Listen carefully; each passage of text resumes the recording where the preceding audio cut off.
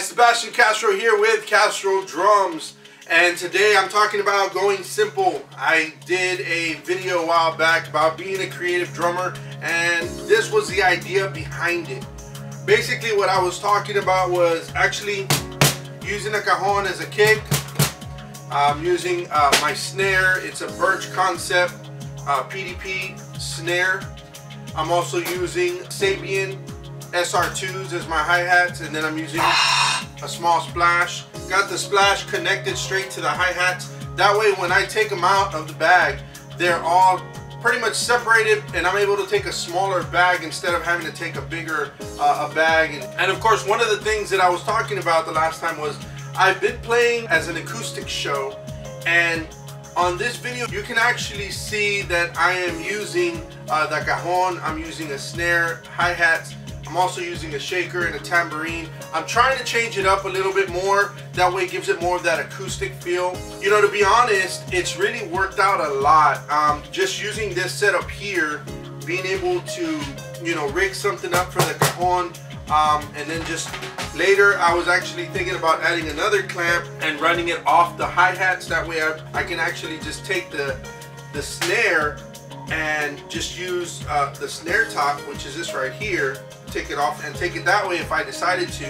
Now, of course, I've seen, um, I believe Meinl sells a small little, uh, like a snare, and, and, I saw that and I was like, man, that's, that's a perfect idea. But I don't do enough of that to actually go out and buy one. And I actually have two different snares. So I'd rather take my snare, take my hi-hats, take a splash and just keep it that simple. And what I want to do is actually show you guys how to just get creative behind it. Just wanted to share this quick tip of staying creative and just using something simple. If you're doing an acoustic setup, I would suggest maybe something like this. We'll, we'll use my shaker, tambourine.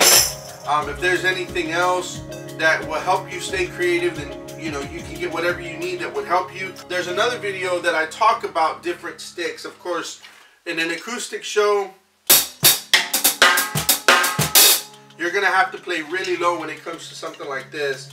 So check out that video that talks about different sticks. Uh, one of the sticks that I that I have, these are actually the Vater Cajon brush, and um, they're a lot thicker than the other brushes that I use, which are the Vater whips and I'll show you guys a sample of what that sounds like.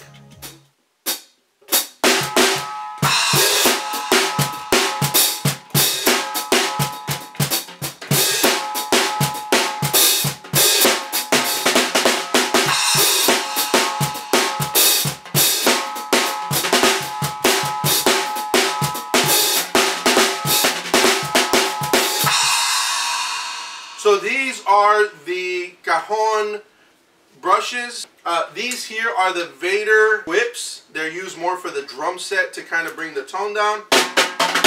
But I'll show you what it sounds like here with this. It's still going to give you the same idea. Still same concept. Drum hasn't changed. But at least that way you have an idea what you're working with.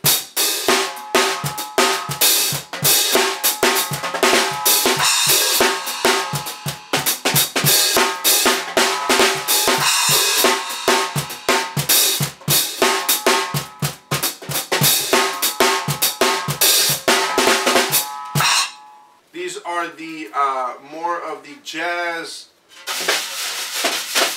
jazz brushes. Uh, and what I like on these is to kind of doesn't doesn't give you a loud sound but if your acoustic setup is a lot more lower than expected these are a good way to go. So gives you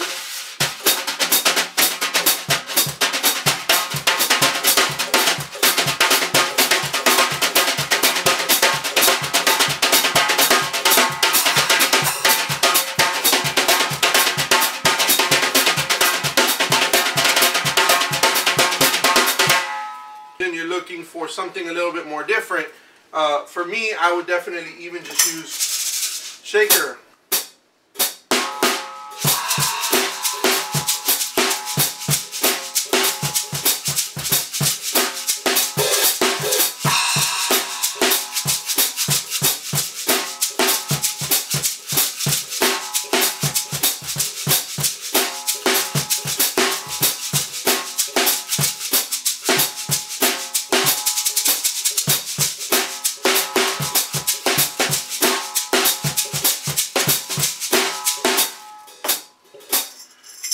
change it up to the tambourine.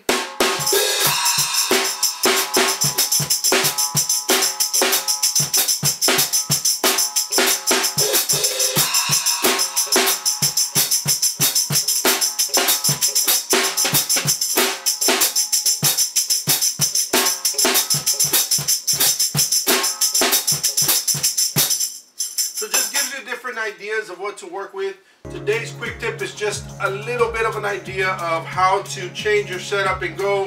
If you have a friend that's playing an acoustic setup and actually you don't want to go out there